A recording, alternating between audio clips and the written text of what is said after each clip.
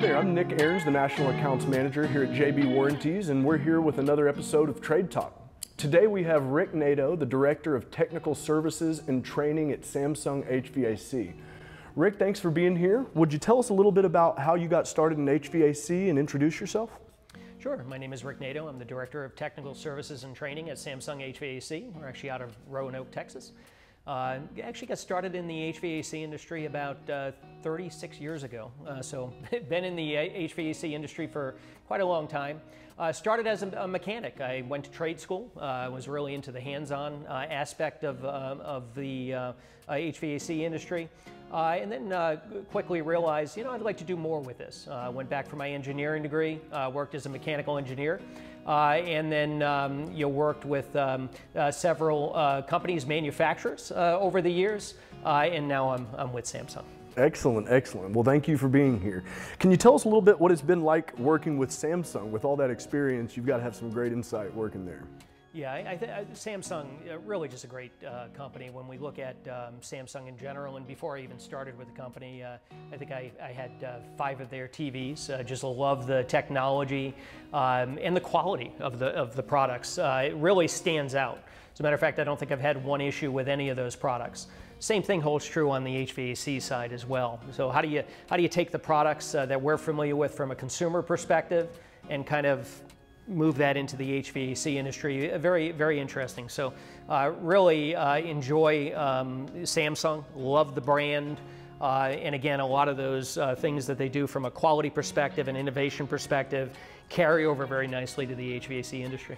Definitely, and I, and I think some of the new technology that's in the Samsung HVAC, like the wind-free technology, um, talks to those innovative things that Samsung's doing. Can you expand on that? Tell us about the wind-free a little bit. Sure. Uh, yeah, we talk about wind-free, um, and you know when you look at HVAC, um, you know one of the things about the HVAC industry, not a lot of change over the years, um, but Samsung has, has really stepped it up with a couple of innovations. One is the wind-free technology that you mentioned.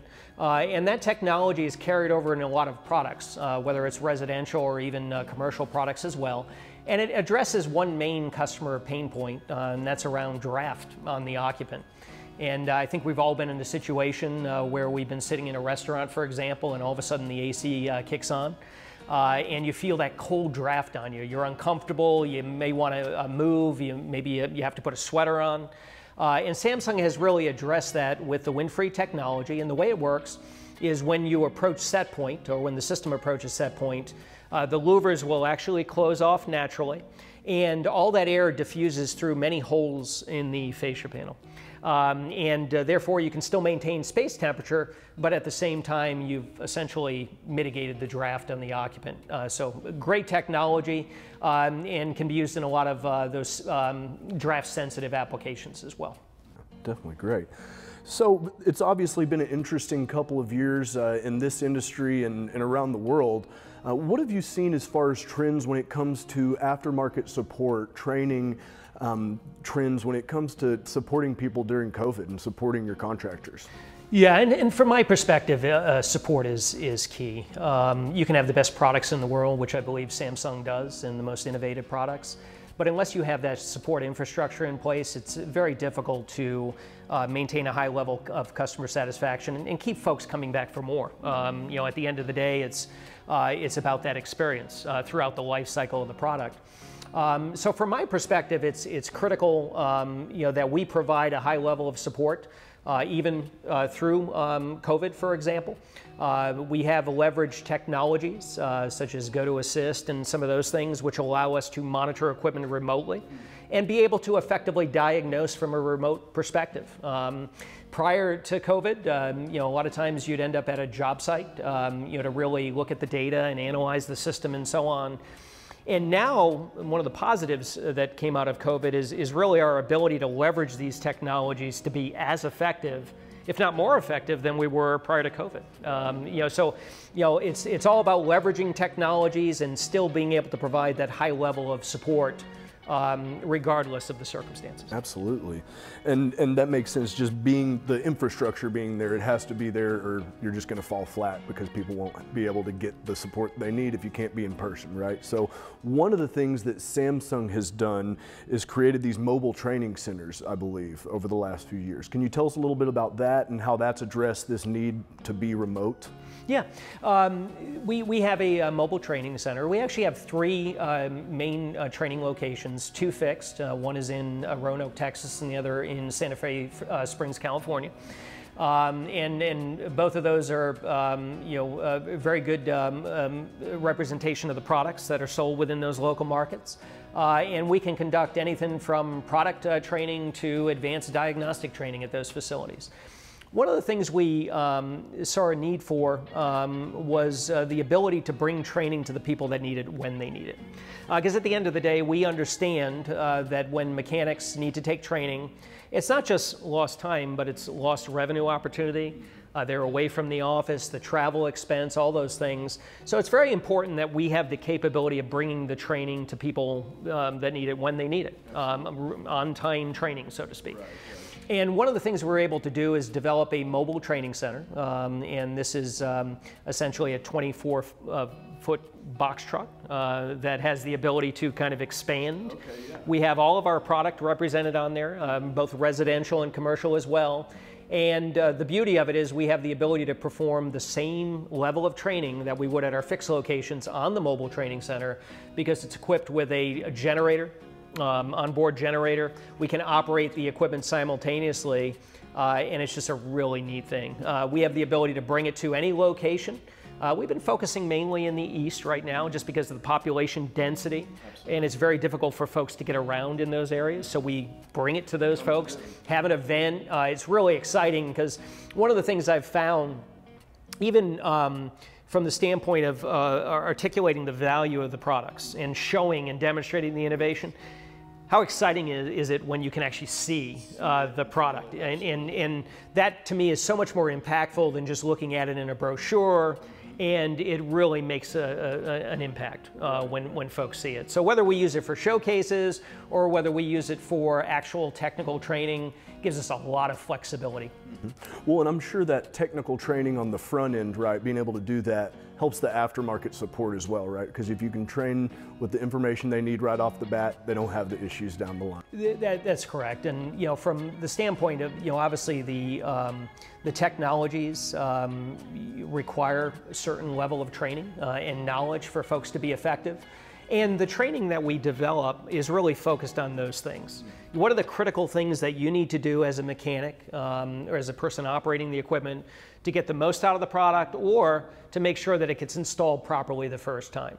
Because uh, at the end of the day, if you can uh, go ahead and install the system, you've gone through all the steps properly, you push the button, it starts off, you can't get much better than that. Customers thrilled to death. They now have cooling or heating within the space and you don't have to worry about going through and, and addressing any potential issues there. So the training really uh, provides that level of knowledge that's needed to be effective um, as an organization to be able to install the products.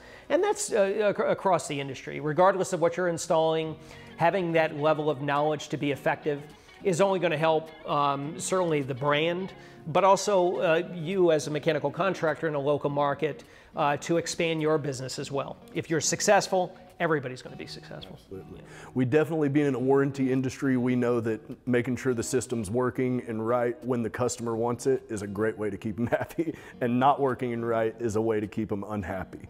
Um, so, so that's great. It's wonderful all the training that you all are implementing to really support your contractor base. Um, are you seeing any other trends as far as um, what's going to be happening in the future moving forward with, with your support, uh, with support in general for this industry and, and technical training? Yeah, I, I think um, where we look at support, um, as I mentioned previously, we, we have learned a, a lot um, with, uh, with COVID. Um, and, and, some of the things we did very quickly because we knew there was still that inherent need to train folks and get them up to speed um, even during COVID. Uh, we actually migrated all of our core curriculum, uh, the installation training, the diagnostic training, product training, over to an online on-demand format. Uh, the beauty of that is you can watch and, and take the training right at your home, um, you know, right at your computer.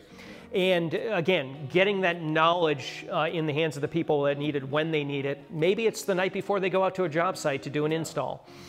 How great would it be to watch a, a very quick um, uh, training, um, whether it's a video or a training program, that's going to uh, provide the guidance you need to be effective um, you know, during that install the next day. Absolutely. Or, because it's done in a modular format, if you're the electrician and all you really need to know is how do I connect the wires to this piece of equipment, you can watch a, a, five minute training module and be up to speed and be effective at what you do as well. So right sizing the training for the audience is also uh, very critical.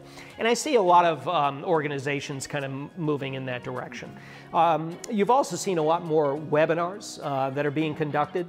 Um, you know, obviously the leveraging um, Microsoft Teams and some of those things to really be effective uh, and provide the training. Um, and there's a lot of technologies out there that allow us to, to, to, do that and continue to provide training. But you'll see webinars as we progress forward. And I don't necessarily think it's ever going to go back to quite the way it was.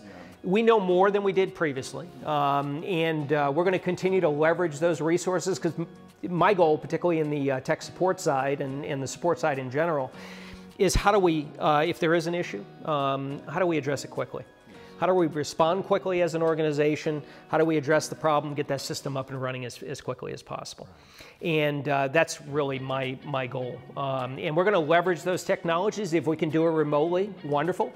If not, that's when we get out to the job site and, and really support from a local perspective. But boy, if we can get it uh, done quickly uh, and get it online, as, as you know in the warranty side as well, that's it's very important. It, yeah, definitely is. It's a competitive advantage, um, and just when you're describing those modular training units, that that really, if I mean, even on the sales side of it, you know, if, if they need to learn a little bit more about a particular aspect of the product, to give that homeowner, or that building owner, the information that they need to make the right decision, right? So that the sales and the service side of it, that's that's really impactful overall, and it's going to open up more business for all these contractors. Yeah, and it's interesting you mentioned the, the homeowner because um, you know I, I, think one of the things we do have a tendency to focus on as manufacturers is the installation and the troubleshooting, the diagnostics, uh, but also we want to make sure that um, the end user um, gets the maximum benefit from the product.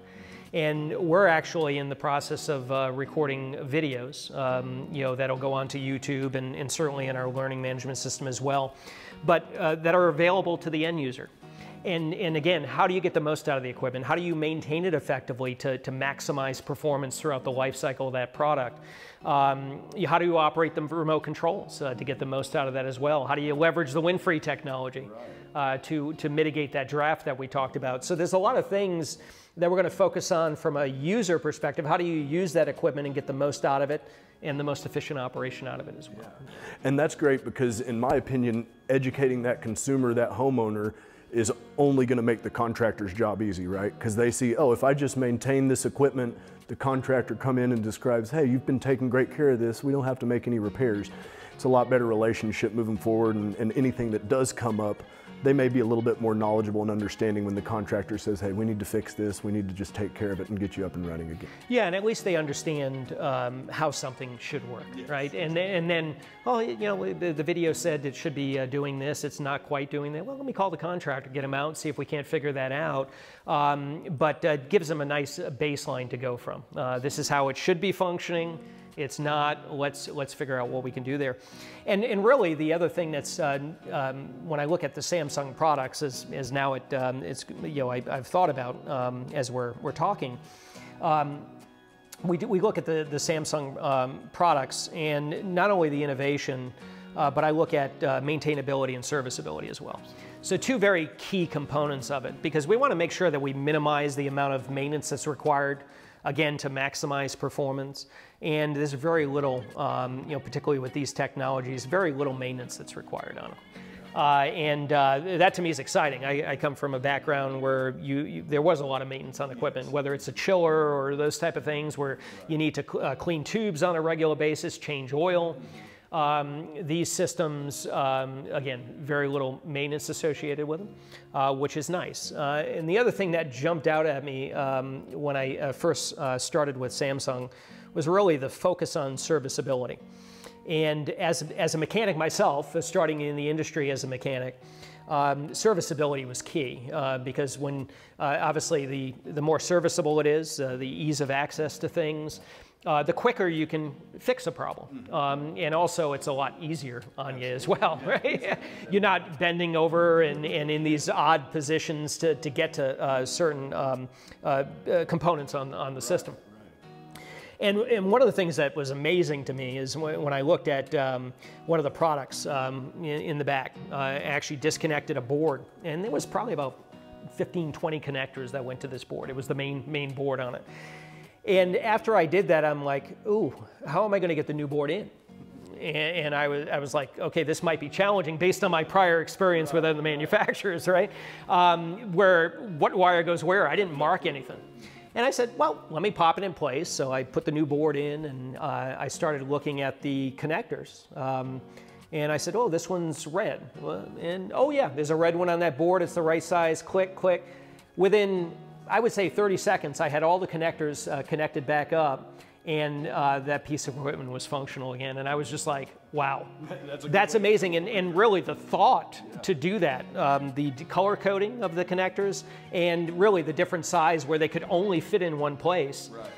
makes it impossible to, to to mess up, right? Um, you know, and, and that's great from a technician perspective. I don't have to worry about marking what goes where don't have to focus on that. So that was another thing that really is neat. Oh, yeah. And most manufacturers don't think of that. Mm -hmm. That's, that's an afterthought. Um, and that's, but it is important as, as we're, we're discussing. Yeah. And, and, when you say it's important, it's also for a, a manufacturer as large as Samsung, that's no easy undertaking either. So it was a strategic decision to make it like that, right? That uh, no, no, question. Um, you know, and the the um, brand um, and that that um, is very, is very very critical. I mean, Samsung is a well-known global brand, and it's important that that reputation is there. And if it's easy to fix, easy to operate, uh, innovative, simple to fix.